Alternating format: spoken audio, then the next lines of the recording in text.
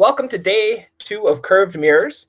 I am going to go over the important components of how we use curved mirrors to kind of predict where the image of something is. And it will be a little bit different from day one because we will be looking at a specific type of mirror.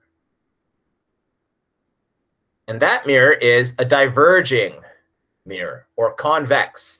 So when we think about diverging, recall from yesterday, diverging means that the light rays will hit the mirror and none of them will intersect with each other. So like yesterday, with regards to our concave mirrors, when something is traveling parallel to the perpend or the principal axis, when it hits that mirror, it would reflect through the focus. Now, the same thing kind of happens here. However, as you'll see in a second, we don't use the actual reflected ray to determine the trajectory of the I guess, the reflection. Because at the end of the day, recall from diverging mirrors, none of the light rays will ever intersect with each other. So, how would we get an image if none of those reflected rays ever intersect with each other?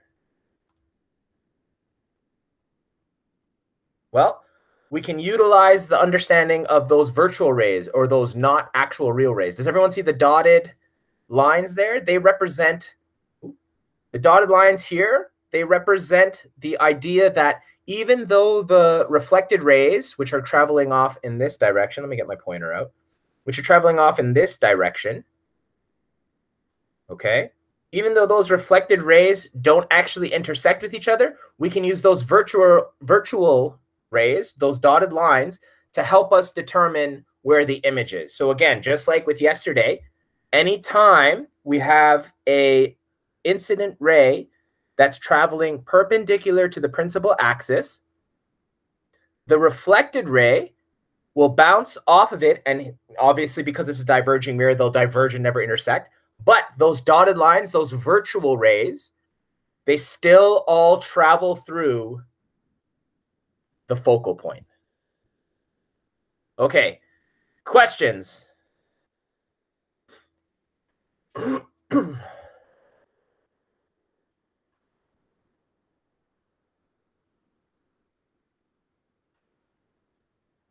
Anyone have any questions about that yet or not yet?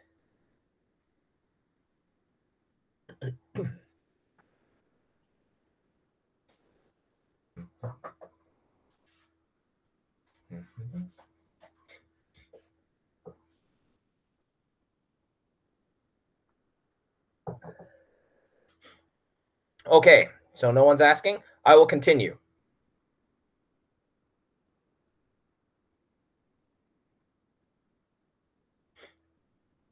So as I stated earlier, let me hide this chat. So as I stated earlier, parallel rays spread apart and diverge into different locations. But those virtual, the dotted lines, those virtual rays, they still follow those three rules that we set up yesterday, where they all kind of converge on the focal point if the incident ray is traveling parallel to the principal axis. So just like our rules yesterday, we're going to look at some rules with regards to convex mirrors. So with convex mirrors, if the incident ray from the top of the object is parallel to the principal axis, it's going to reflect through F, but it's not the actual reflected ray. It will be that virtual, those dotted lines. From the top of the object as if through F, so going through F, it will still reflect parallel to the principal axis. And from the top of the object, as if through C, well, it's still going to reflect back through C. However, like I stated in this initial diagram, all of them will be those dotted lines, those virtual rays. They are not actual light rays that are going and reflecting in that manner. So the rules all still stay the same, but not quite. So what does that mean? Well, let's take a look at an example. So in this example, we have a convex mirror. We have an object that is in front of the mirror. And my first light ray, my first incident ray that I draw is going to be traveling parallel to the principal axis. So it will reflect like that. Now, how did I get that trajectory?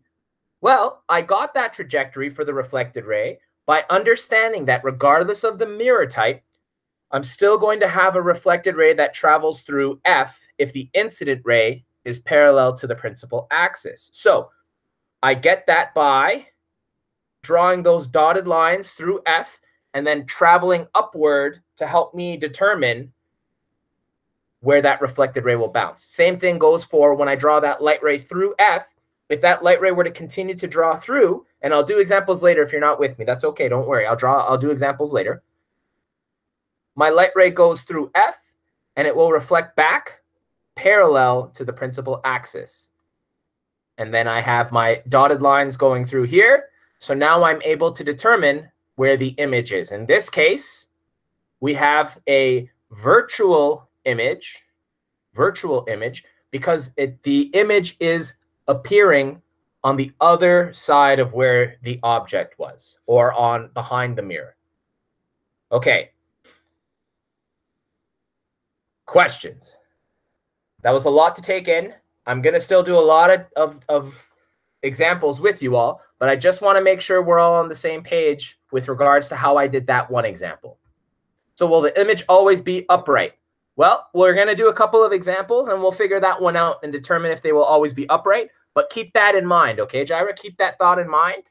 At the end of the day, don't assume that we'll always be upright. We always have to determine by drawing our incident and our reflected rays.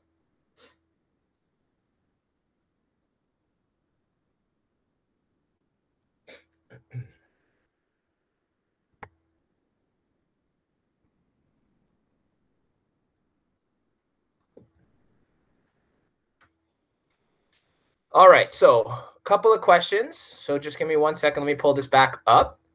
So Marie asks, how do we know which direction the rays will go in? Well, uh, I'm going to do a couple of examples, Marie, and hopefully we'll start to see it by then. But the way we know the direction is by remembering those rules. If it travels parallel to the principal axis, its reflected ray will go through F. But in this case, because it's a convex mirror, not a concave mirror, we don't know the actual trajectory of the real reflected ray because we can't draw it going through F. However, those dotted lines help us to chart the trajectory of that reflected ray.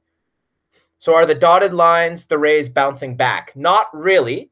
The dotted lines are where the light would go if it wasn't a fully reflective surface. If it wasn't a fully reflective, and this is important when we do lenses next, because the fully reflected surface bounces 100% of that light off of it. If it wasn't fully reflected, if it wasn't fully reflective, the dotted line would be the trajectory of the, the, the new ray. Yes, exactly. It would it would bend. That's exactly what would happen. That's why prisms and that's why lenses behave in the help light behave in the way that it does because at the end of the day it helps to yeah, it helps to um yeah, deflect the light.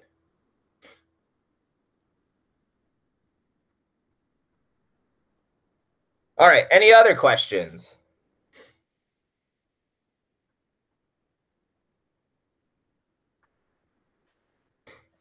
Because then I'm going to do a couple examples with you all, and then it's going to be hopefully you've all taken a look at that uh, Explore Learning Gizmo account. Ignore this. You can ignore my sorry, my students can ignore this. I've already set you up I'm not sure about Miss Nitz and Miss Pullman's class, but I'm pretty sure based on what I read from both of them, they have it either set up for you or there's a way for them to for you to all set it up. But my students, I shared that document with your login information. You'll utilize that. Okay, so Sophia asks, how is are these different from concave?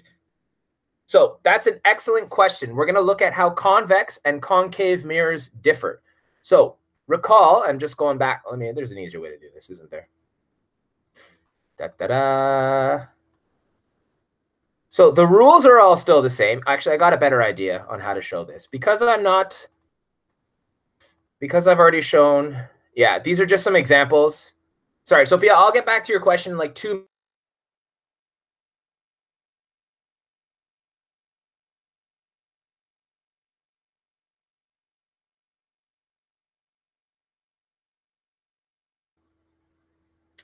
Why is this not working? All right, folks, can you hear me again? This is weird. I don't know why it keeps disconnecting me. Sophia, can you recopy that question because I was in the process of of answering it and um or like talking about it and now I can't see it anymore. So if you could just re Perfect. Thank you.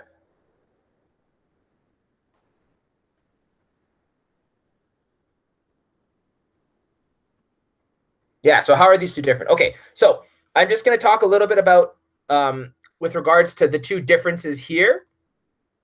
So convex mirrors produce a smaller upright virtual image. Convex mirrors also show a wide range of view with their smaller virtual image. It's always going to be smaller, upright, and virtual for convex. So just coming back to Jaira's question, that's how it will always behave. With concave, it won't always behave like that. It's going to be a little bit different sometimes, okay? But we'll really, really, really, really get the hang of it when we look at some examples. So I'm going to do that now. All right, let me get this exiting. Stop sharing. Okay. Mm -hmm. A window. Oh, go. All right. So let's take a look at some examples. Let's just make this. Yeah, perfect. Okay, so I'm going to draw two examples, and hopefully it will help us to understand it a little bit better. And then if we have questions, we can go over those questions. Okay, first. Actually, no, I'll do a convex. Okay, first. Da, da, da.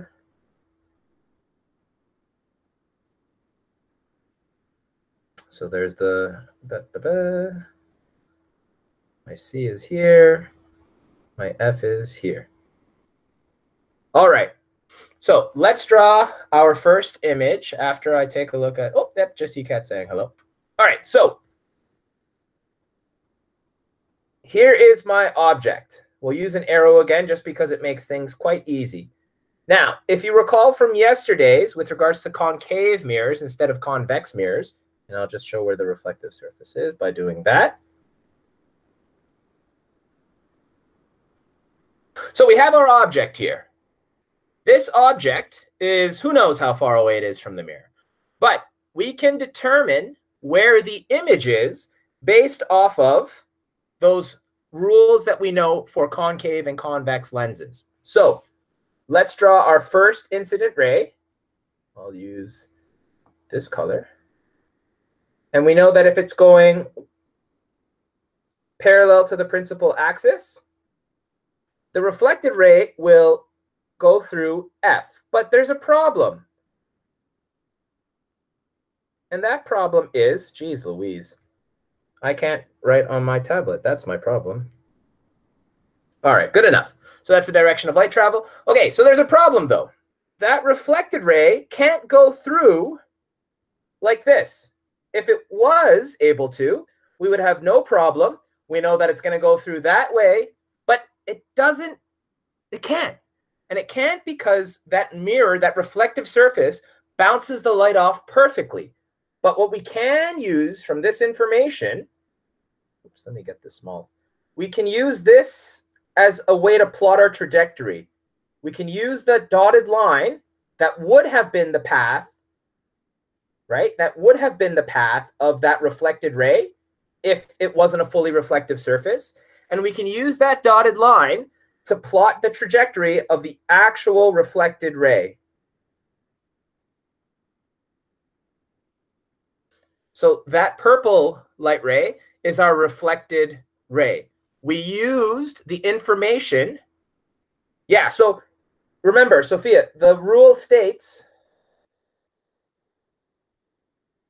the rule states if it's traveling parallel to the principal axis. So the rule is if it's traveling parallel to the principal axis, the reflected ray will reflect through F, but it can't. It can't move through F. The dotted line just tells us the path it would have taken if it was possible to go through the mirror, but it's not. So we use that dotted line. So we use that dotted line to help us understand that this is the path of our reflected ray. And we can do that with several different rays. So we can go right through F. If it was going to go this, it would have gone all the way through from that, from that, um, yeah, would have gone all the way through, but it doesn't. It stops here. And recall, if it's traveling through F, if it's traveling through F, the reflected ray will be parallel to the principal axis. But it doesn't. It can't go parallel to the principal axis because that means that it goes through the mirror, which it can't do. So we use that again as our trajectory. That's going to be our dotted line. Doo -doo -doo. And it will help us to find the path of the real reflected ray or the actual reflected ray. So there's that reflected ray. And you'll notice the dotted lines have a point of intersection. So those dotted lines not only help us to determine the path of the reflected ray, but they also help us to determine where the image will be. And so now I know that the top of my arrow is going to be at the top where the point of intersection between those dotted lines are. So my image will appear here. All right, questions about that example that I just did?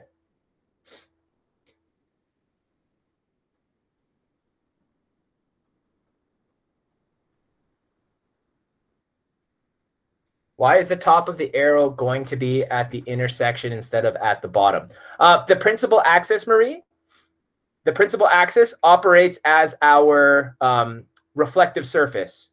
Okay, so our reflective surface. So Ryan asked, can you go over step two again?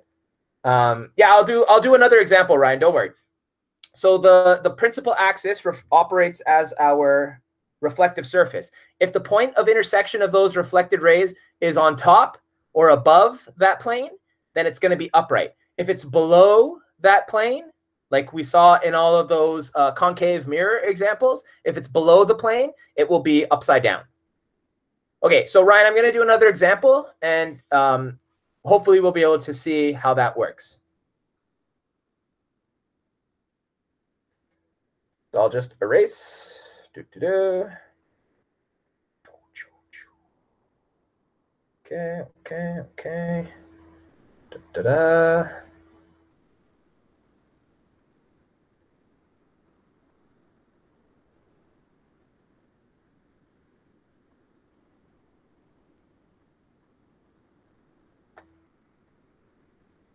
All right. So let me take a look at what some of these questions are. Uh, so Jaira asks, so you can't have an upside down image above the principal axis. Correct, Jaira. That's exactly correct. And then Sophia asks, will concave always show upside down or only when it's under the principal axis? Will concave always show upside down or only when it's under the principal axis? I'm not sure what you mean by that, Sophia. Like, will the image of a concave mirror always be upside down? Yeah, only if uh, the point of intersection of those reflected rays is under the principal axis. If it's above the principal axis, then it'll be right side up. But again, once you head to Explore Learning and you do that gizmo after uh, office hours, you'll hopefully start to have a better appreciation and understanding of because uh, you'll be able to move all the different objects. Yeah, in concave, but we're talking about convex right now. Okay, let's do another example, shall we? This time I'm going to draw the object super duper close to the mirror. We'll see what happens. Okay, so again, I'm still dealing with this convex mirror, right? I'm still dealing with this convex mirror. And now we have an object that's very, very, very, very close. Oops. Sorry, let me Okay, so another example. I'm still dealing with this convex mirror. Now, this time our object is very, very, very close to the mirror. So what I'm going to do again is I'm going to draw my first incident ray from the top of the object. And I know it's not quite on the top. For some reason, my iPad doesn't want to register it. Oh, there, perfect. Okay, so top of the object. And we know, we know it's going to go through F. Good heavens. There we, oh, no. Here we go. I can do it. Nope, still got, nope. There we go. Oh, nope. There, oh. Why am I having trouble with this today? Oh dear, that's a circle. All right, there we go. So there's my incident ray, the direction it's traveling. And I know my reflected ray is going to go through F. So there's a little cheat, and this is how I do it. You can use a ruler and a pencil when you're doing your diagrams, obviously, but I just draw my line straight through F. Oh, it's got to be better because it's got to actually touch that incident ray. There we go. Nope, still not there yet. Here we go. Why is my stylus doing this today? Of all the days. There. Okay, so it goes through F. And then I'm just going to continue it. Da, da, da. Oh my gosh, what is happening? All right. So now I can use my eraser, because you're going to be doing it in pencil, just to create that dotted line. So I know that that virtual ray is going through F. All right, so there's my first one, okay? My second incident ray, same thing, but instead of it going parallel to the principal axis, I'm going to have it go right through F. All right, so you'd line your ruler up, and E, because it's a mirror, you know it's not going to go directly through F, so you can have it stop. Oh, dear. Stop there.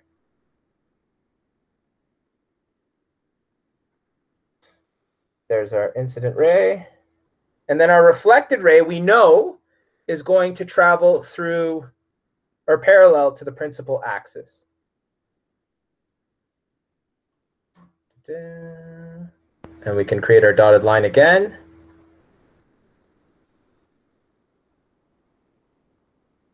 And so now we have the exact placement of our image.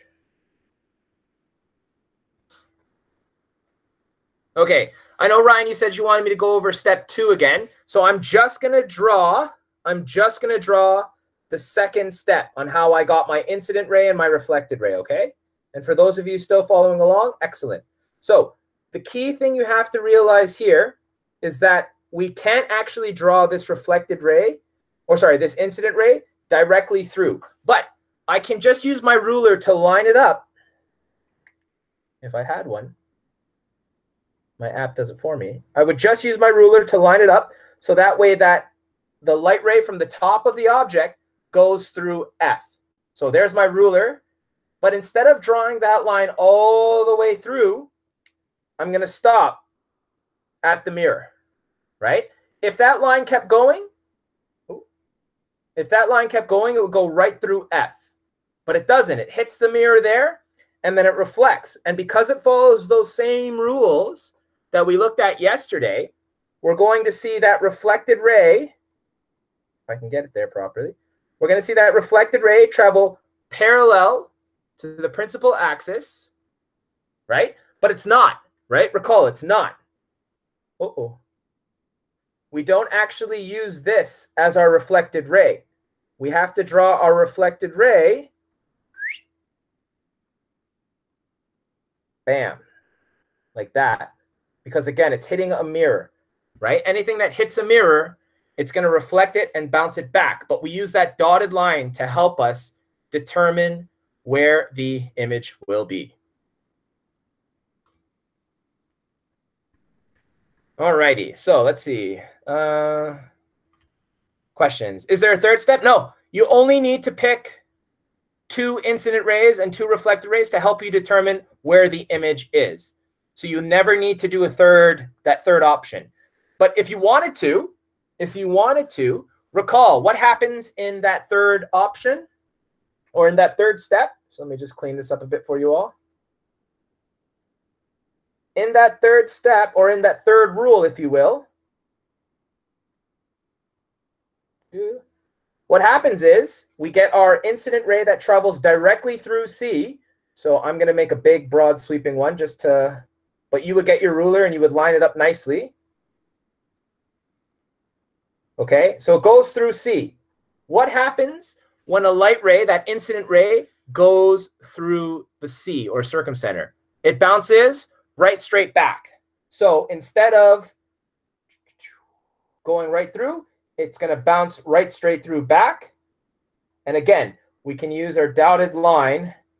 I'm doing a bad job of it, but we would use our dotted line here to help us determine where that object is. But again, you only need to use two rays in order to determine that. Okay, so that's all I got for today with regards to my actual lesson lesson. I'm more than happy to answer questions and do more examples now, but I'm just going to stop the recording. Where does that go? Stop recording. Oh.